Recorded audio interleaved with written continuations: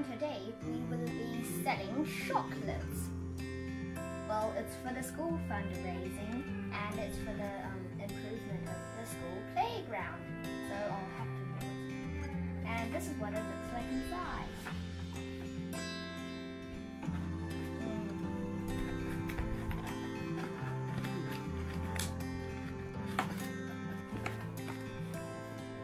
actually smells good.